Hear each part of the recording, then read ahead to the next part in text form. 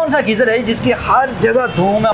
ये geyser gas और बिजली के बगैर ये वर्किंग करता है और एलपीजी से ये 60 परसेंट कम खर्च है। ये चीज़ एक टाइमर है जो कि गैस की काफ़ी बचत कर देता है। ठीक। है आप माचिस से गीज़र कभी ना चलाएँ ये ऑटोमेशन सिस्टम लगा हुआ है इसमें। छः घंटे चलाएँ 24 घंटे चलाएँ। होटल चाहे 10 कमरों का हो या 100 कमरों का पानी का गर्म का बंदोबस्त हो जाता है। हो सौ गैलन पानी एक घंटे में गर्म कर देते हैं। वहाँ पे स्विमिंग पूल भी होते हैं। क्या उसका भी पानी ये गर्म कर जी सकता जी है ये स्विमिंग पूल का पानी भी गर्म कर सकते हैं हम। अगर पायलट पे पानी गर्म ना मिले तो हम पैसे वापस करेंगे। 80 परसेंट तक गैस सेविंग ना करें फिर भी हम जिम्मेदार अच्छा, मुझे ये बताएँ कि अगर मैं इसको इन्वर्टर बनवाता हूँ तो कितने परसेंट मेरी गैस सेव होगी? अस्सी परसेंट की मैं गारंटी देता हूँ।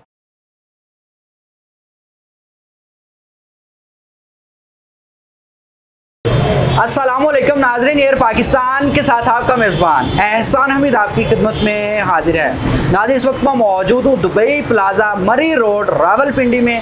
आज मैं आपको बिजली और गैस के बगैर चलने वाले गीज़र दिखाने जा रहा हूँ।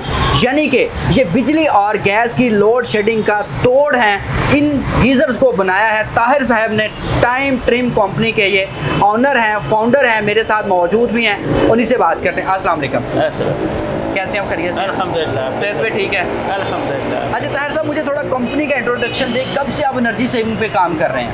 ए, मेरा नाम ताहिर काजी है और हम टाइम टाइम हमारी कंपनी का नाम है हम असदराज से काम कर रहे हैं और मेन हमारी शनाख्त कंपनी की ये है कि आपके घर में जो S N G P L का बिल आता है उसकी बैक साइड पे हमारी ये गीज़र टाइमर डिवाइस बनी हुई है। अच्छा। ये हम अरसा छः साल से पाकिस्तान में लगा रहे हैं नहायत कामयाबी से ये चीज़ चल रही है। ठीक है।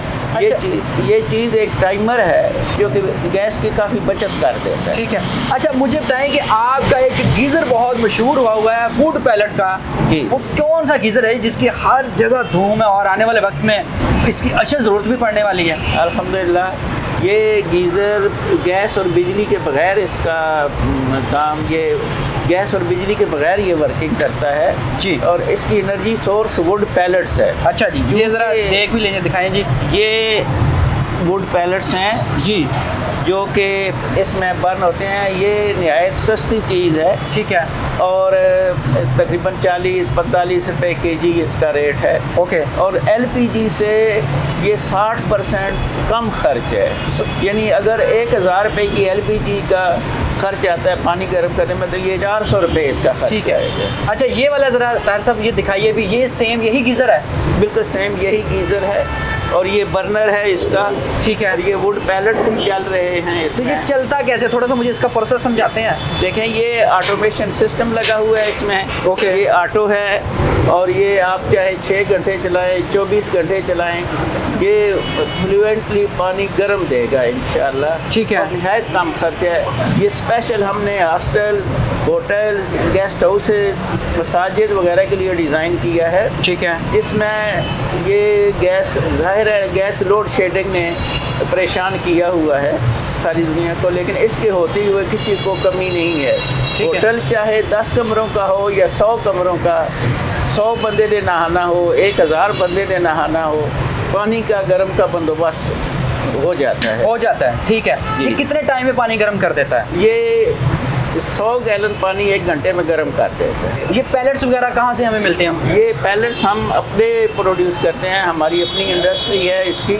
जो हमारे क्लाइंट हैं उनको हम नहायत मार्केट से नहायत कम रेट पर हम ये प्रोवाइड करते हैं। किस किस साइज़ में ये आप बना रहे हैं?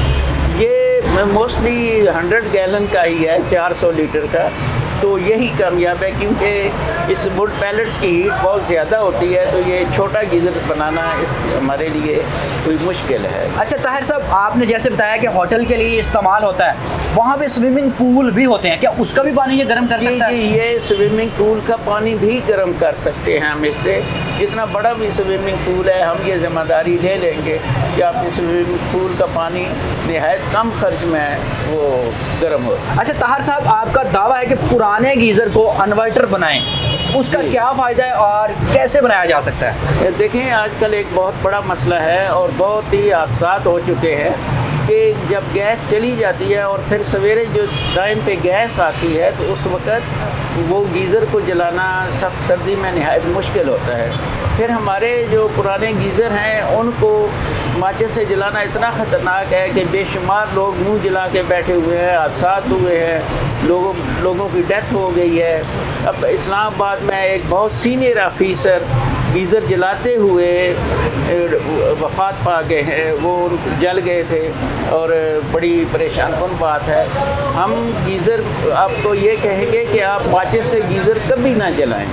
या तो एक लंबा सा लाइटर लें जो इजीली जल जाए, या फिर उसमें इलेक्ट्रॉनिक इग्निशन सिस्टम लगाएँ। ताकि आपका ये इलेक्ट्रॉनिक इग्निशन सिस्टम लगाने से कोई भी खातून एक बटन टच करके गीज़र को ऑन कर सकती है। अच्छा तार साहब मुझे बताएँ कि किस तरह हम लोग इन्वर्टर बनवा सकते हैं आम गीज़र को? देखें हमारे जो पुराने गीज़र असदरात से लगे हुए हैं इनकी डिज़ाइनिंग ठीक नहीं है। आप गीज़र को जब इन्वर्टर बनाते हैं तो हम उसमें तीन काम करते हैं। सबसे पहले हम उसमें इग्निशन सिस्टम लगाते हैं इलेक्ट्रॉनिक इग्निशन सिस्टम वो लगाना नहायत ज़रूरी है ताकि आप सुबह के टाइम एक बटन दबाएँ और गीज़र आपका ऑन हो जाएगा।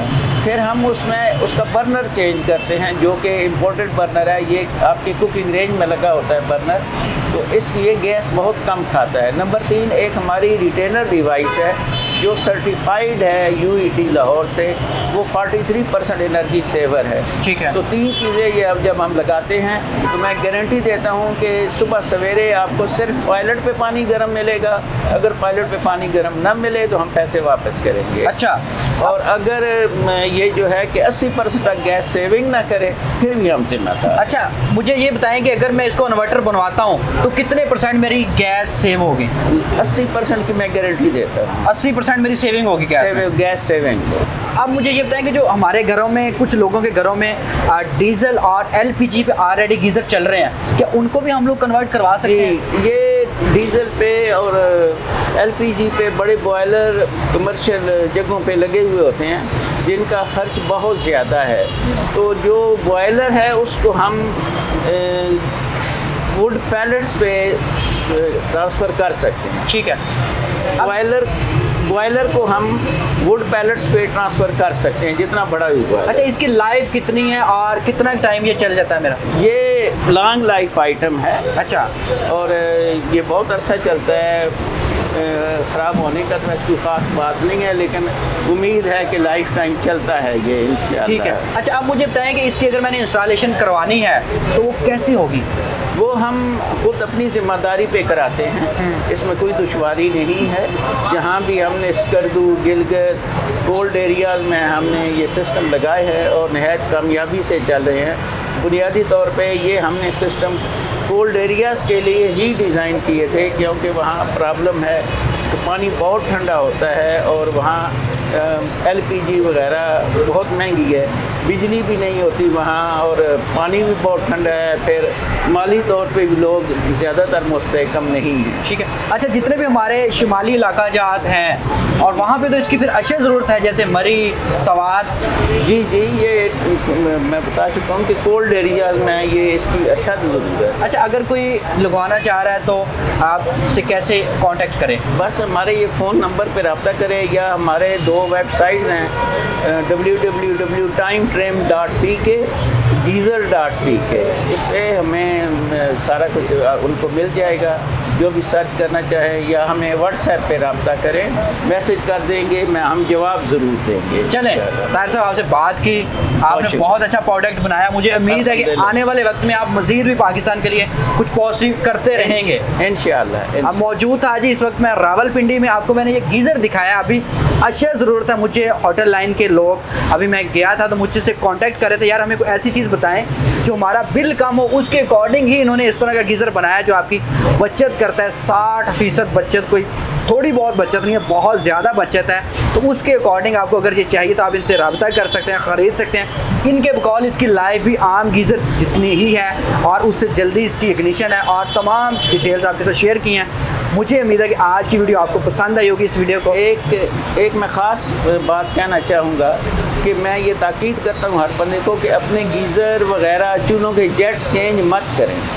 क्योंकि जेट चेंज करना एक नया मसला खड़ा हो जाता है। जब आप जेट चेंज कर देंगे वो सिर्फ़ एलपीजी के काबिल ही रह जाते हैं चूल्हे गीज़र वगैरह। आप हमसे रबता करें हम आपको डिवाइस देंगे जो कि आपको एलपीजी के लिए जेट चेंज नहीं करने पड़ेंगे।